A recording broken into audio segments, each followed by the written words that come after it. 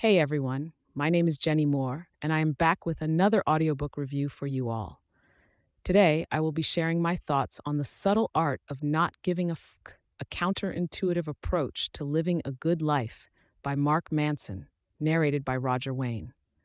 For those of you who are new here, I review audiobooks on YouTube and share my honest opinions on them.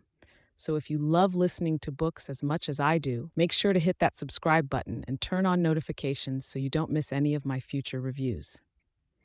Now, let's dive into this audiobook.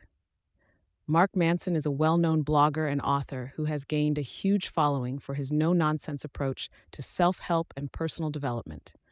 In this book, he challenges the traditional ideas of positivity and encourages readers to embrace the uncomfortable truths of life. Narrated by Roger Wayne, this audiobook is a refreshing and entertaining listen.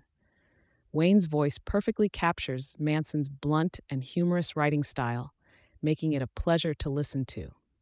He also does a great job of conveying the author's message and keeping the listener engaged throughout. What I loved most about this audiobook is its raw and honest approach to self improvement. Manson doesn't sugarcoat anything and instead encourages listeners to embrace their flaws and imperfections. He also emphasizes the importance of choosing what we give our fucks to, rather than trying to please everyone and everything. Overall, the subtle art of not giving a fuck is a thought provoking and refreshing take on personal development. It's not your typical self help book, but that's what makes it stand out. So, if you're tired of the same old advice and looking for a different perspective, I highly recommend giving this audiobook a listen. And for those of you who are interested, the link to the full audiobook is pinned in the first comment below.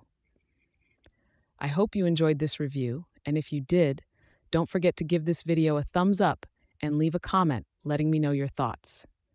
Thank you so much for watching, and I'll see you in my next review. Remember, it's okay to not give a fuck sometimes.